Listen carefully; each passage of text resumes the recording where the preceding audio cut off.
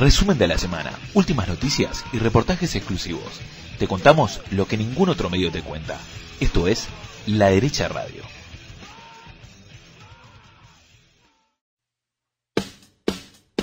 Buenos días, buenas tardes, buenas noches. Estamos en un nuevo episodio de La Derecha Radio, el programa que hacemos junto a Juan Dou. ¿Cómo estás, Juan? ¿Cómo andas, Karina? ¿Todo bien? Todo en orden.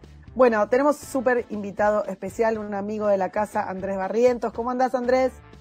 Hola, Karina, mucho gusto. Un saludo también a Juan. Un gusto estar ustedes con ustedes nuevamente en este, eh, este panorama de radio de la derecha. Diario. Nuevo formato que estamos, sí, sí, que estamos manejando. habrán notado por el tono que Andrés es chileno, es nuestro hombre en Chile. Andrés es ingeniero civil, es magíster en gestión de gobierno, es analista político, es autor del libro Zonas de Libre Comercio y es editor de Nueva Derecha, cofundador de una fundación buenísima que se llama Ciudadano Austral.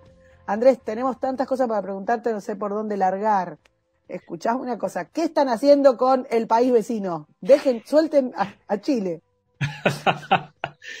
Oye, sí, eh, un gusto eh, y nuevamente saludo a todos los que están escuchando este y que escucharán este, este formato nuevo de la derecha diario.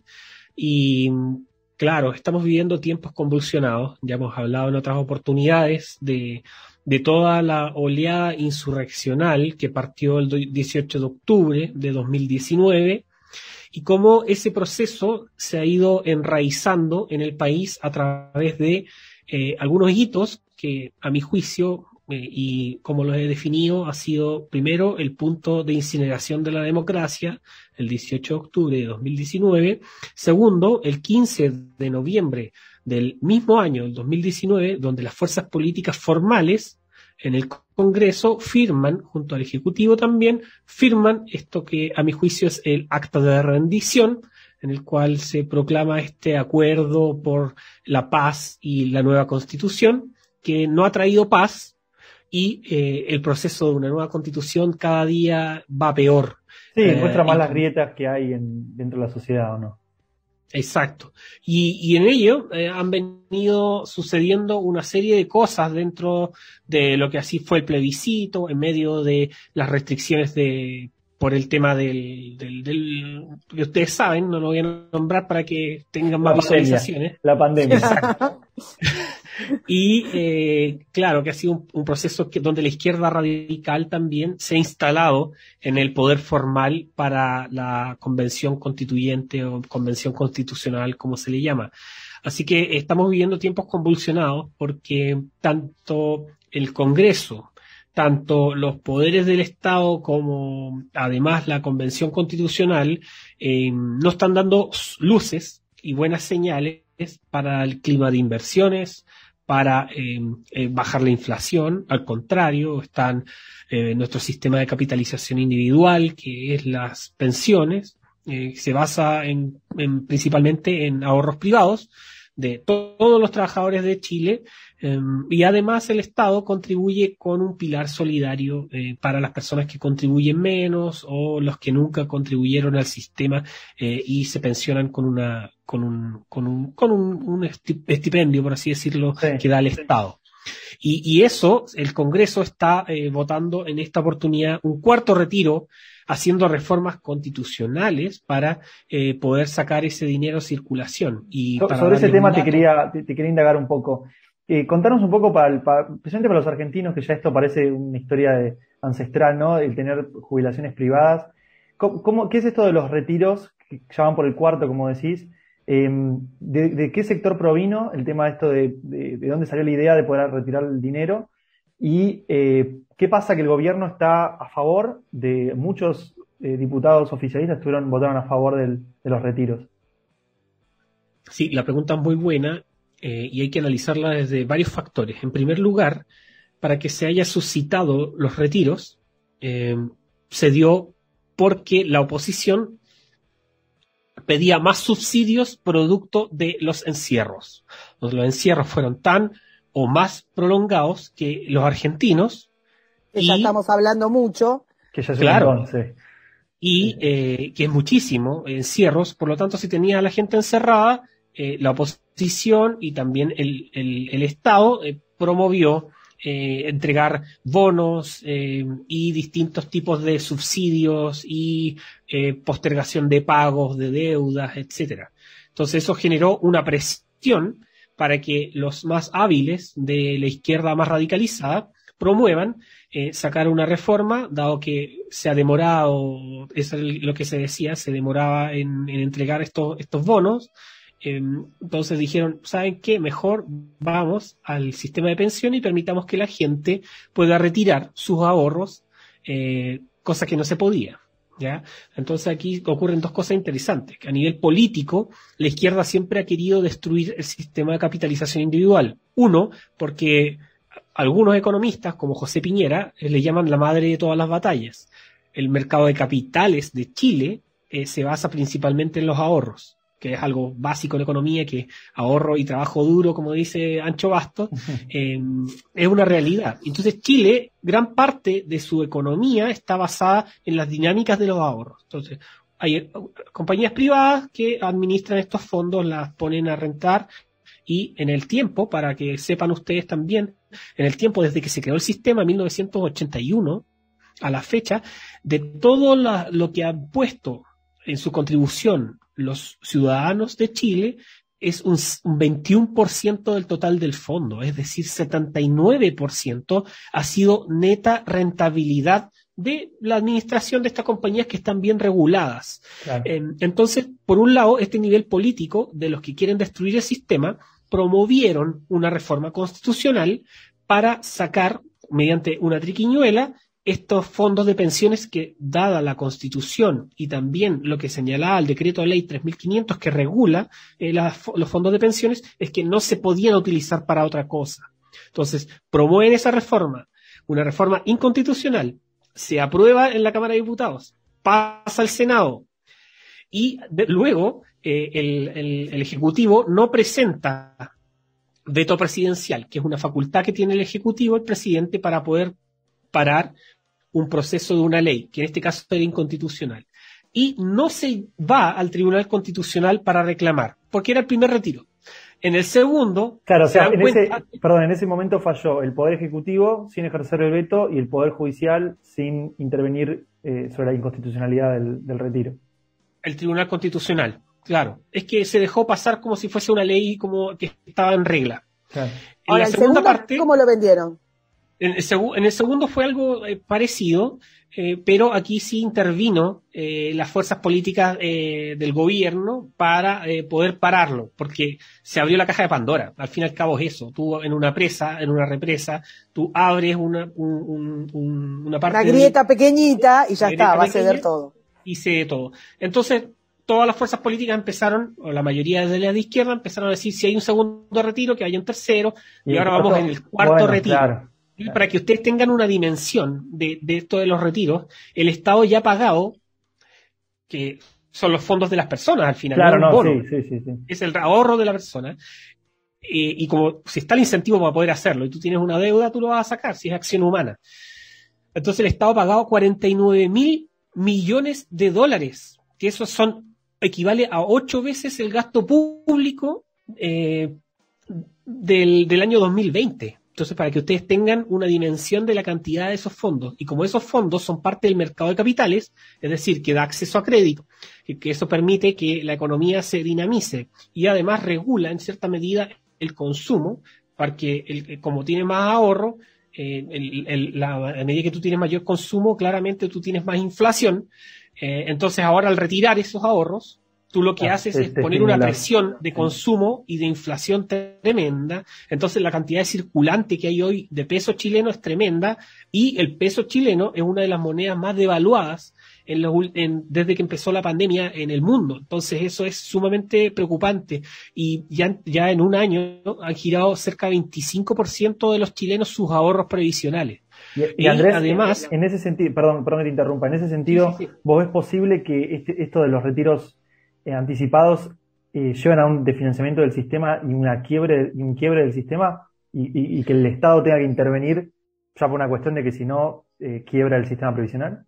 Lo que pasa es que yo, yo no creo que quiebre el sistema previsional, porque ahora que han habido más retiros, el sistema ha tenido la presión de tener que rentar más Por otro, entonces eso ha demostrado, por lo menos para los incrédulos del sistema o los que no lo conocen bien, han mostrado de que realmente funciona. Eso por un lado.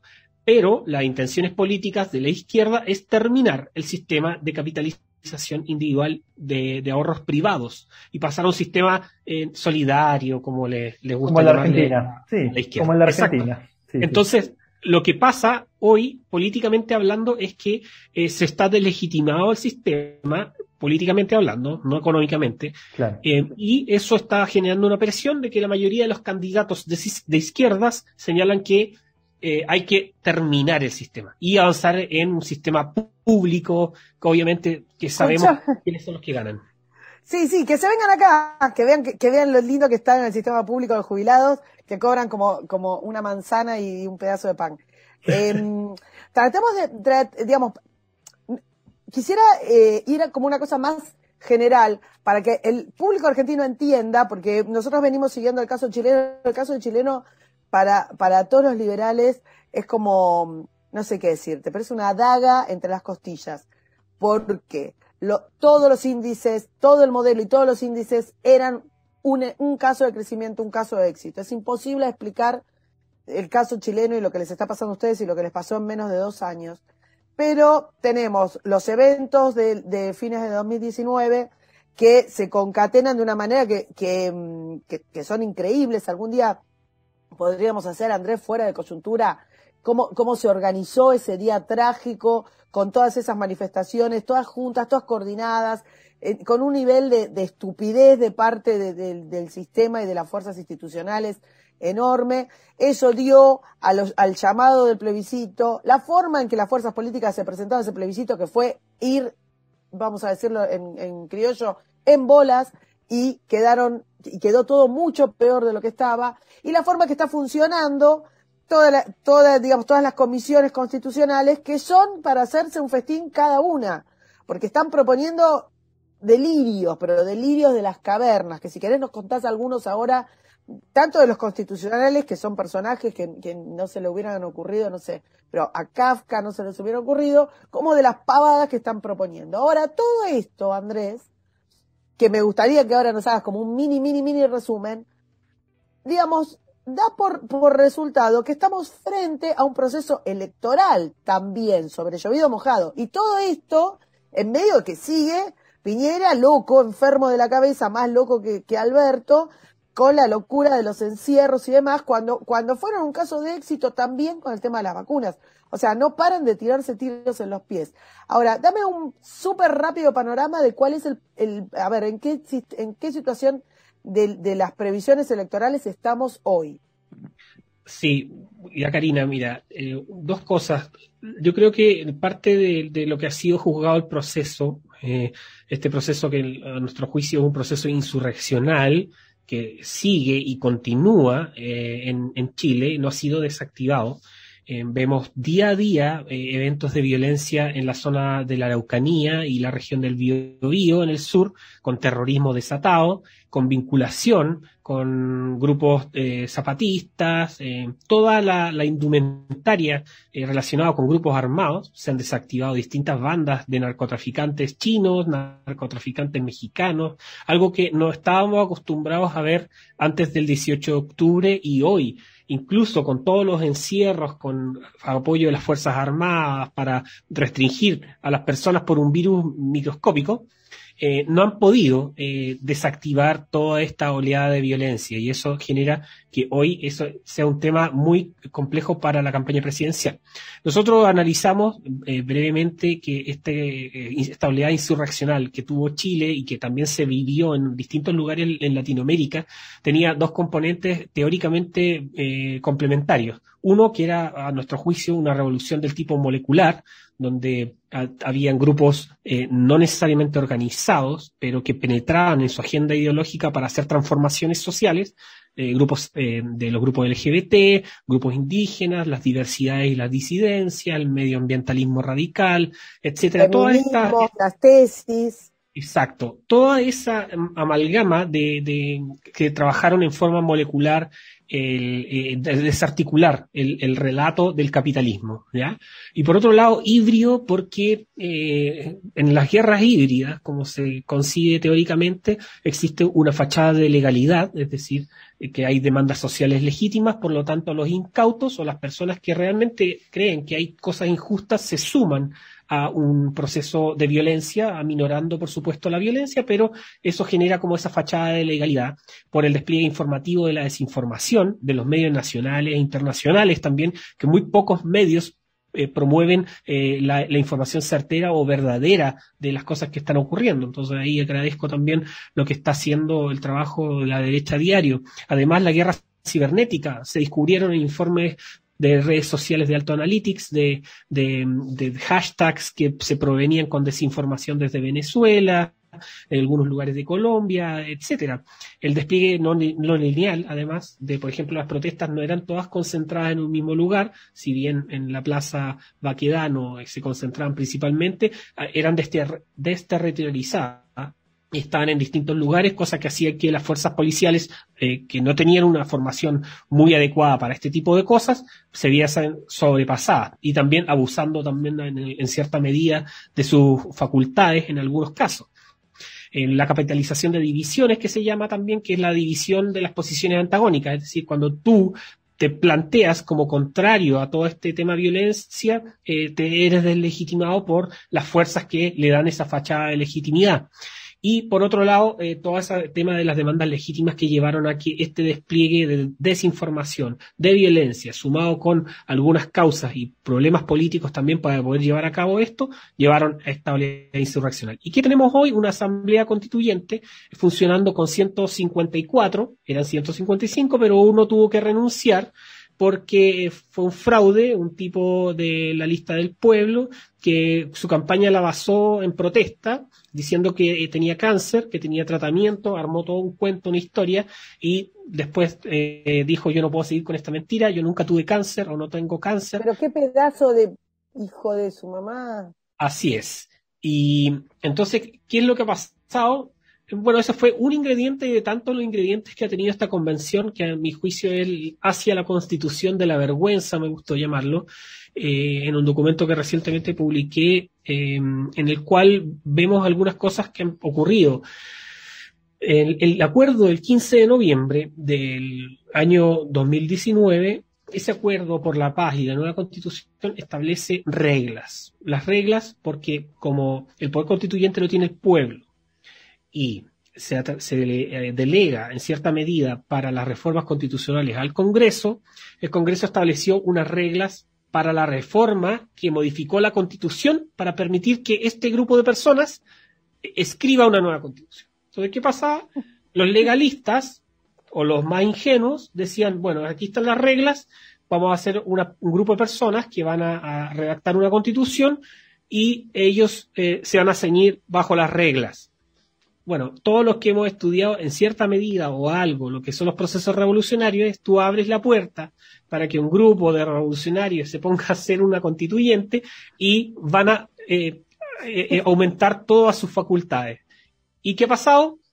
Han, solicitado aumento de presupuesto, por supuesto, millones, millones de pesos. Segundo, no han respetado las reglas del acuerdo de la Cámara de, diputados y del Congreso, que eran por cada norma constitucional se respete los dos tercios. Como fueron criticados, eh, y como tienen mayoría, por supuesto, la izquierda radical, el centro casi no existe, y la derecha son 37, eh, ¿qué, ¿qué, es lo que ocurrió?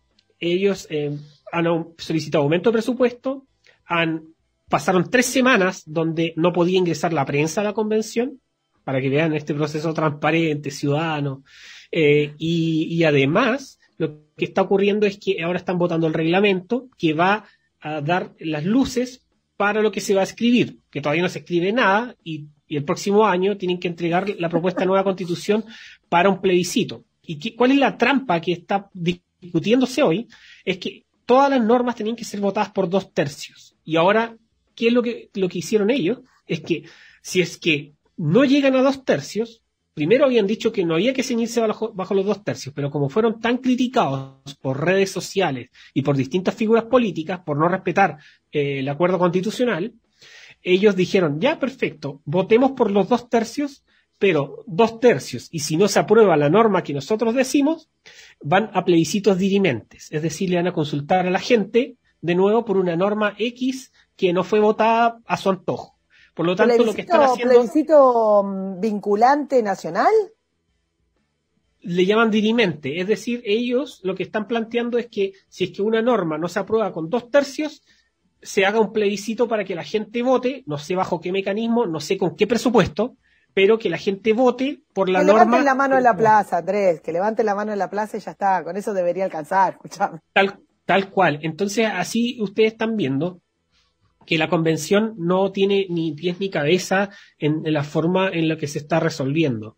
Em, porque eh, tenemos un grupo de personas que realmente no creen en la democracia liberal, no creen en la democracia representativa y tampoco creen en la igualdad del voto y tampoco creen en lo que es la, la, protección del ser humano eh, o la, la, prioridad del ser humano frente a lo que es la, una constitución. De hecho, hay una constituyente, para, para ir cerrando, hay una constituyente, no recuerdo bien el partido, eh, el apellido, ay, estoy, olvido el, apellido, pero escuché una discusión. Escuché una discusión y ella decía, y no es una opinión aislada, eh, además, decía que la constitución no podía ser antropocéntrica, el Estado no está al servicio de la persona humana y hay que ser una constitución ecocéntrica. Es decir, en términos prácticos, es llevar las eh, concepciones de Foucault del poder eh, para poder aniquilar al hombre, porque al fin y al cabo si una constitución no está al servicio del ser humano, eh, está al servicio de, la nada. Y, ese tema está poniendo como en entredicho la legitimidad de la constituyente. Eh, han bajado en encuestas, han bajado en legitimidad bastante, en apoyo, eh, de que no era lo que se esperaba, etcétera. y además han surgido voces de por ejemplo, candidatos a diputados que están señalando que hay que presentar un proyecto para disolver la constituyente. Otros más moderados dicen que hay que rechazar el plebiscito de salida, a lo cual yo creo que esta misma convención va a votar para no tener plebiscito de salida. Es decir, que, la constitución que salga de ahí, de facto, esté eh, aprobada porque ellos se atribuyen el poder soberano. Entonces, para que vean la magnitud de lo que está ocurriendo, eh, que, no sabemos hacia dónde va a llegar y les queda poco va a tiempo. buena esa constitución, va a salir con errores de ortografía, va a salir con dibujitos. Escuchame una cosa, en el medio de esto eh, quiero ir a las a las elecciones. Eh, contame cómo están los candidatos, Juan. Eh, ¿Querés hacer un, un súper? Este... Sí, bueno, básicamente la situación de los últimos días, y esto es más del lado informativo, eh, es que el candidato José Antonio Casta subiendo un montón en las encuestas. Básicamente la situación era, estaba dividida entre Gabriel Boric, que es el candidato de extrema izquierda, comunista, autonomista, marxista, y Sebastián Sichel, que era una especie de continuidad de Piñera, eh, un candidato más de centro, centro-derecha. Y el problema fue que eh, tuvieron, esto tal vez lo puedes explicar un poco vos mejor, Andrés, él tuvo que admitir que en uno de los retiros se le había sacado dinero del sistema previsional mientras hoy en día él, lo está criticando y eso fue como un punto de quiebre y las encuestas que empezaron a salir después de, ese, de esta noticia empezaron a mostrar a, Cast muy arriba de, de, no un puntito arriba, sino ya cuatro, cinco, seis puntos arriba y ubicando a Cast en segundo lugar. ¿Esto qué quiere decir? Bueno, quiere decir que el día que haya las elecciones, las elecciones no van a determinar quién es el presidente, sino que van a determinar quiénes van al balotaje. Por lo tanto, si las encuestas de hoy se mantienen al día de las elecciones, podríamos tener una, una elección entre Boric y Cast, lo cual sería un poco, como la vende, un poco extrema izquierda, extrema derecha, pero habría que ver si estas encuestas realmente son, son tan confiables o si no son una cuestión de sentimiento del momento por el rechazo que generó la situación con Sichel, pero después el votante de Sichel vuelve a Sichel. Esto tal vez lo, lo puedes eh, explicar un poco mejor vos, Andrés.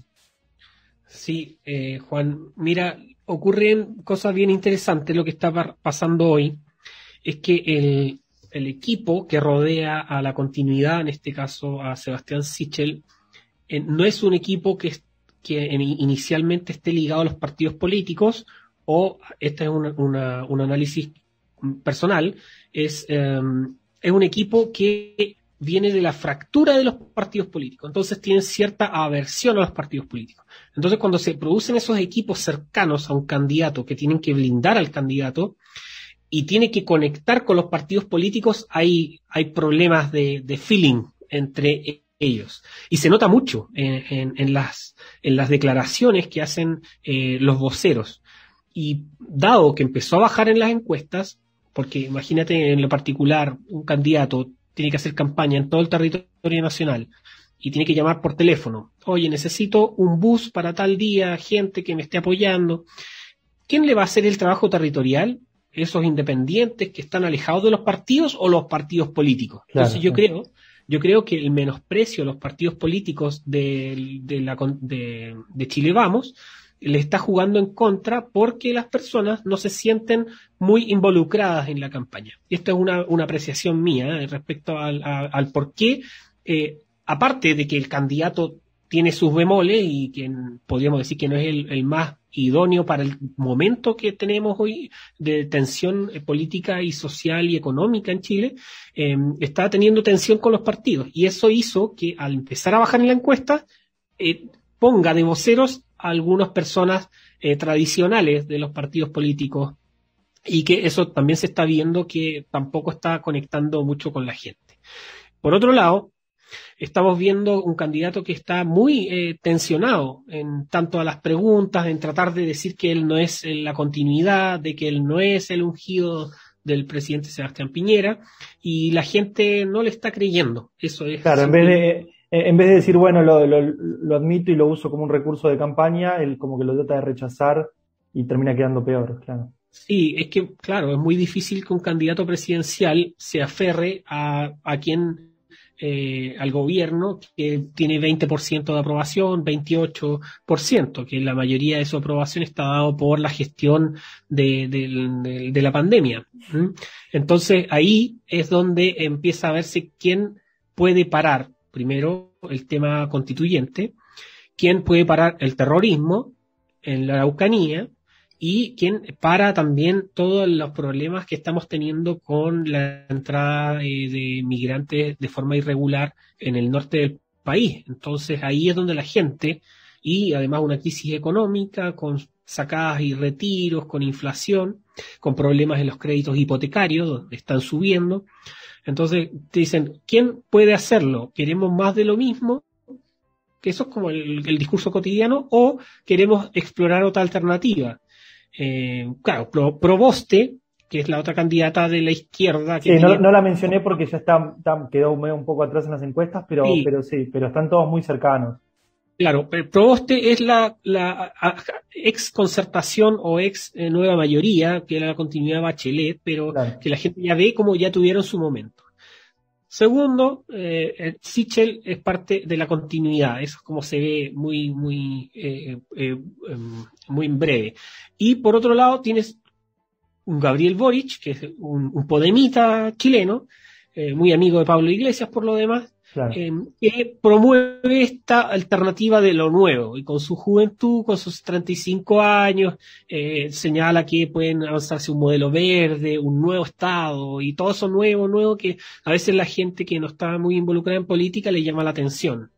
Y está la otra alternativa, que es José Antonio Cast, que está su segunda candidatura presidencial, en la cual hoy, en el año 2021, eh, a mi juicio, es un candidato muy distinto en términos prácticos con respecto al candidato Cast del 2017. Que el ¿Mejoró un poco? ¿Te parece? ¿O aprendió? Porque te, acuerdas que era como muy de nicho. A mí me molestó, te cuento, capaz que, que cambió ahora. Me molestó mucho la actitud de Cast respecto de la este de los encierros y se volvió como muy COVID fan, este, como muy alineado y además, ¿te acordás que por lo menos hasta hace dos años, tres años, era como muy de nicho, muy acotado, muy, muy hablándole a, un sector extremadamente conservador? ¿Qué, es otra cosa, ¿no? En, el, por lo menos lo que yo vi del, no sé qué te pareció a vos, Juan, del eh, debate era como otra cosa. Comentanos más o menos cómo está Cast ahora, de New Cast. Sí, yo creo que en términos prácticos, eh, Cast 2021 es muy distinto al 2017 por una cosa muy sencilla. CAST 2017 era un, un candidato presidencial que había sido diputado y que venía descolgado de la Unión Demócrata Independiente, que era uno de los partidos más importantes del país. Entonces se veía desde ahí y era como un descolgado. Muchos señalaban que era un proyecto personal. Yo conociéndolo, yo sé que no es un proyecto personal, pero, pero claro, se veía como un candidato de nicho, como dices tú, Karine, como lo veían de afuera. Entonces, de ahí a la fecha, lo que ha pasado es que eh, José Antonio ha creado una red de organizaciones, en este caso, por ejemplo, Fundación Cuide Chile, que se dedica a la defensa de la vida y la familia y que está presidida por su esposa.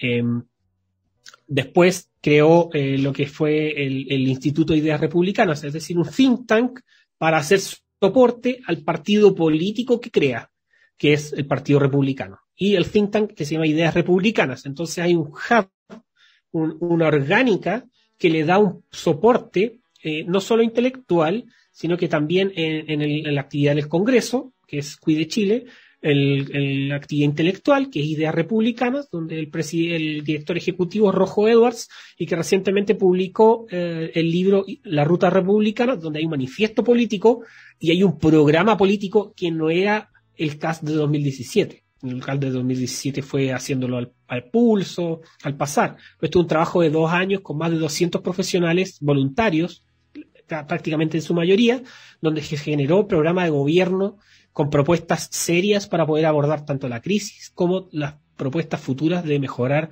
eh, toda la economía chilena y el sistema social. Y eso lo cubrimos Entonces, en el diario, es muy, muy, completo, la verdad que es uno de los programas más completos de todos los candidatos. Sí, de hecho, aquí tengo, tengo el libro, como, como estamos en, en, no en video, no, no, lo voy a mostrar, pero en alguna otra oportunidad. Sí. Eh, y la cosa es que, claro, tiene un partido político, es decir, tiene ahora un esquema territorial en todo el país con candidatos, porque la vez pasada sacó un 8%, que era alrededor de 500 mil votos en la primera vuelta, 8%, y, y no tenía partido. Eh, ahora tiene partido, tiene gente que le hace campañas en regiones, en las comunas, y además va con candidatos a diputado y en algunas circunscripciones va con candidatos a senadores. Entonces, ese soporte es muy diferente al soporte que tenía anteriormente. Y las propuestas, bueno, hay, hay varias propuestas que son bien interesantes, como bajar 10% los impuestos a las empresas, eh, poner impuestos cero a las pymes, eh, eh, avanzar en unas reformas para establecer macroregiones. Ustedes entenderán que Chile tiene 16 regiones y, y establecer macroregiones es agrupar algunas para hacer mejores economías de escala y, mejor distribución territorial. Hay cosas bien interesantes en el programa que eso se lo podrán abordar después los, encargados de, de programa José Antonio, pero claro, el, José Antonio 2021 es muy distinto al 2017 y dado el contexto político, económico y social, y dado que hay un gobierno de centro derecha en ejercicio, o que se llamaba de centro derecha. Qué generoso que sos con lo de centro derecha. ¿eh? Sí, es que se siguen atribuyendo como centro derecha, por eso eh, lo, lo, lo, recalco, pero, pero que sea en la práctica es otra cosa. Eh, entonces, eso hace que Cast hoy siga subiendo, siga subiendo las encuestas y hoy, recientemente, en estos días, hemos tenido ya cuatro encuestas que ya están situando a José Antonio Cast en el segundo lugar Sí, de todos los colores, de todos los colores, consejos de todos los colores políticos. Claro, y entendamos muy bien que todas estas encuestas, que la mayoría son ligadas a los progresismos, los claro. encuestadores, nosotros en nuestro sector tenemos muy poca eh, eh, inversión en este tipo de cosas, lamentablemente, pero la mayoría de estas encuestas que, que son prioritariamente con preguntas bien eh, de izquierdas, etcétera, eh, antes no ponían siquiera a José Antonio dentro de las respuestas. Eh, y yo creo que ahora simplemente o hay que también juzgarlas con su justa medida. Hay encuestas que no han acertado en nada en los últimos tiempos. Entonces yo creo que son dos cosas. Uno, tratar de legitimarse y otro es realmente están midiendo algo que ya no pueden esconder. Eh, y eso obviamente sería una deslegitimación muy grande en el caso de que José Antonio eh, eh, no estuviese en una encuesta y sabiendo que está sumando día a día. Vemos, por ejemplo, actividades regionales, y para cerrar, en actividades regionales vemos que el candidato José Antonio Cas está, la gente lo espera en los aeropuertos y con COVID, con esto de los encierros, que todos andan con mascarillas y cosas, igual eh, la gente se congrega para, para un candidato y eso no estaba pasando en Chile hace mucho tiempo. Hay algo que me da un poco de, susto viendo las encuestas, un poco más allá de las encuestas generales, y son las encuestas de balotage. Em, todas las encuestas que mencionás, todas lo dan perdiendo a Kass contra Boric. Eh, y no así Sichel contra Boric. De hecho, eh, el promedio de encuestas que manejamos en el diario es que Sichel estaría, le, estaría ganando a Boric en un balotaje y Kass estaría perdiendo. ¿Cómo ves esa, situación? ¿Cómo puede hacer Kass un poco para desligarse de ese tema? Eh, o para no desligarse, pero revertir esa situación, porque la realidad es que si él llega a balotaje, eh, el presidente sería Boric. Eso es sería un problema muy fuerte para Chile. Sí, yo, yo lo estoy viendo con, igual con, con harta reticencia por, por lo siguiente. El Partido Comunista, que es un partido muy importante en Chile, controla territorialmente grandes lugares y tiene un poder ideológico muy fuerte en tanto a sus planteamientos teóricos de lo que quiere para Chile. El Partido Comunista promovía la gratuidad en Chile educacional en educación superior el año 95 y perseveraron por tanto tiempo y terminaron aprobándolo en el gobierno de Bachelet. Eh, más de 15 años eh, trabajando, más de 20 años trabajando en eso. Y lo lograron. Y el Partido Comunista, como fue en pacto con el Frente Amplio, con estos podemitas, eh, ahora está reclamando también ingresar al comando a dar directrices. Y eso yo creo que les puede jugar en contra al candidato Boric, porque se está tratando de mostrar algo moderado y realmente se está mostrando que realmente son todos comunistas verdes, comunistas rojos. Entonces, eh, eh, eso, eso yo creo que está, está distorsionando en cierta medida eh, lo que pueda decir una encuesta. Y por otro lado, el tema del voto útil eh, es algo que se ha dado en Chile siempre. Eh, esto de que se señala que no, que alguien de derecha no puede ser presidente nunca. Em, yo, creo que como están dadas las situaciones hoy en Chile, donde hay están muy parejos los candidatos, no hay ninguno despegado como eh, anteriormente, donde uno veía a un Sebastián Piñera o un Alejandro Guillé muy por sobre los otros candidatos.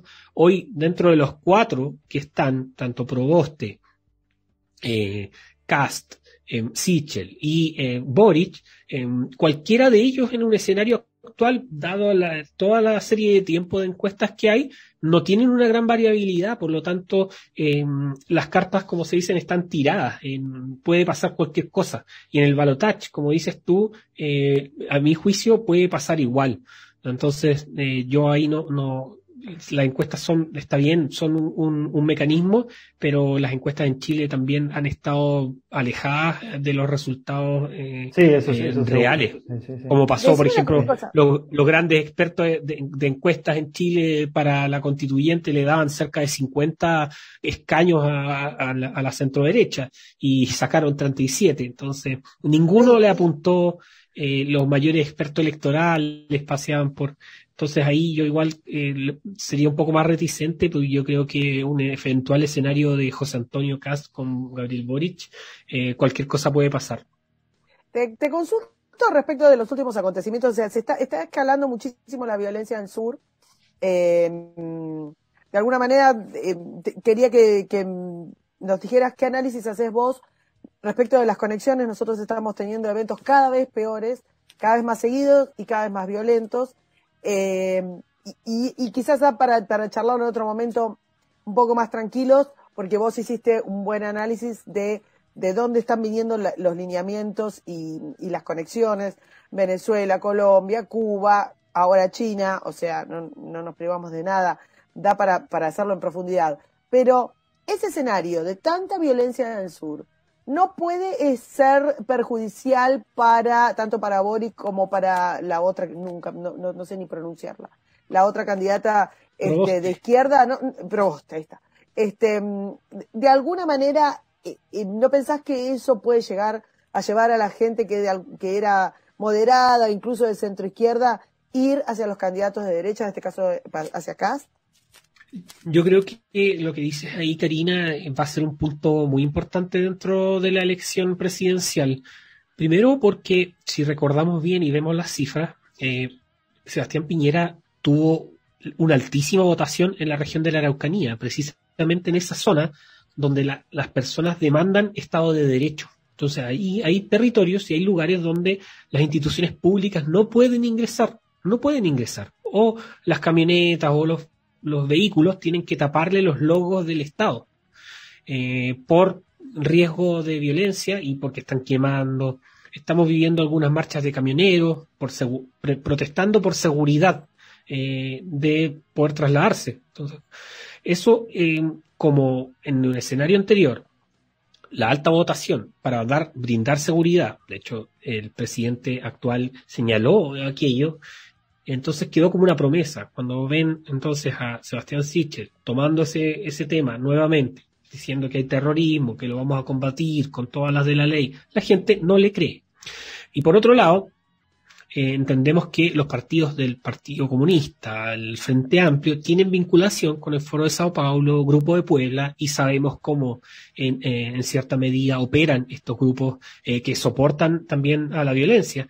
Entonces es un escenario muy propicio que esto va, va a, potenciar la figura de José Antonio Cast eh, por su discurso y también por su planteamiento respecto a, la zona de Araucanía donde se está sufriendo esta violencia. Y, algo súper claro que señaló, él dijo que las primeras semanas de su gobierno él iba a gobernar en la Araucanía. Entonces esa es una señal potente también política de lo que quiere llegar a ser. Y para dar un dato más, eh, vimos recientemente, por primera vez desde el regreso a la democracia en Chile, elecciones de gobernadores regionales. Cada región tiene ahora su gobernador electo en forma eh, democráticamente, en forma popular. Y el, el único del conglomerado de Chile Vamos que ganó fue en la Araucanía. Entonces, para que vean que también en ese sector la gente impacta mucho, necesita, quiere Estado de, Derecho. Bueno, eh, te sacamos el jugo lo que pudimos. En realidad tenemos ganas de, meternos más con, el tema que no es tan coyuntural. Te vamos a seguir preguntando por las elecciones. Está súper este, candente el tema y es importante porque lo que se defina en Chile, primero porque fue la cabeza de donde empezaron a, surgir un montón de manifestaciones que a lo largo de los últimos dos años este, después se, replicaron en, el resto de la región. O sea que de alguna manera son como la vanguardia del horror, tratemos de que sean la vanguardia de lo que de, de la recuperación. Y, y, en función de eso vamos a seguir las elecciones chilenas, pero punto a punto, lo venimos haciendo en el diario. Este, y también nos gustaría en algún momento no hablar tanto de coyuntura y si querés, si tenés ganas, hacemos, cuando tengas este, un poquito de tiempo, un programa especial sobre esta coordinación del Foro de San Pablo y el terrorismo este, el terrorismo indigenista, bueno, empieza indigenista, pero este terrorismo molecular, como bien lo, describiste, que tan bien conoces este, y que puede explicar tanto, no solo de Chile, sino del resto de la región, de nuestros países, a nosotros nos está afectando en Argentina muchísimo y cada vez más. Bueno, eh, Andrés, muchísimas gracias por la, por la entrevista y por este panorama que nos diste. Muchísimas gracias, siempre quedan cosas eh, pendientes de conversar y profundizar, pero aquí estaremos felices de poder conversar en, en otra oportunidad para la derecha diario. Así que un saludo grande y que sigan eh, haciendo el buen trabajo periodístico que realizan a, la fecha. Muchas gracias. Bueno, para los, que, para los que no lo siguen, síganlo porque tiene toda, toda la información. Después vamos a ponerlo este, en el tweet. Bueno, Juan, nada, nos despedimos. Dale. Chao, chao. Un abrazo a todos. Chao, chao. Resumen de la semana, últimas noticias y reportajes exclusivos. Te contamos lo que ningún otro medio te cuenta. Esto es La Derecha Radio. Esto es La Derecha Radio. Esto es La Derecha Radio. Esto es La Derecha Radio. Esto es La Derecha Radio.